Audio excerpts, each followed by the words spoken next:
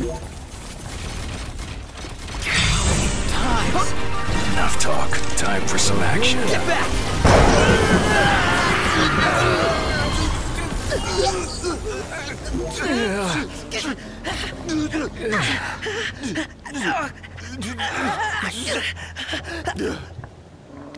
Bumped it